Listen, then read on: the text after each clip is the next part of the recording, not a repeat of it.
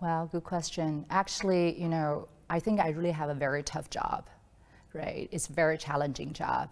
Um, you know, when I first joined this company, I thought it's a technology company. And now I know it's about people. It's about safety. You know, last year there were two terrible incidents happened on our platform. Two young girls got killed.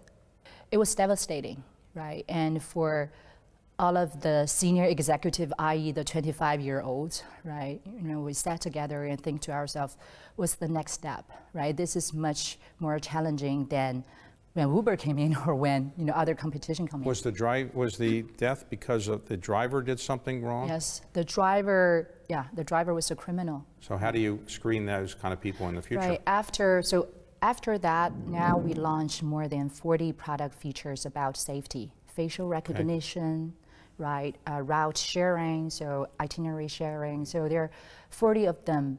But the challenge part is not about how committed we can be for safety. It's, there are a lot of dilemmas that I can't Right. ask our data scientist for an answer to.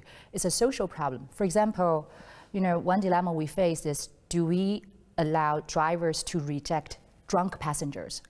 Because there are a lot of internal conflict from drunk passengers tend to assault drivers, right? So drivers complain to us, hundreds of them complain to us daily, saying, can we reject this drunk passenger? Do we allow it or not? So what do you do?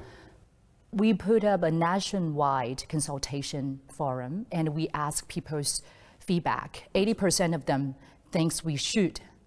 It's a surprise to us because our original concern was if we let that happen, then what if something bad happened to the drunk passenger, right? So what we do not encourage is drunk passenger to ride by themselves. They need to be accompanied by a sober friend. How do you make sure your drivers are not drunk?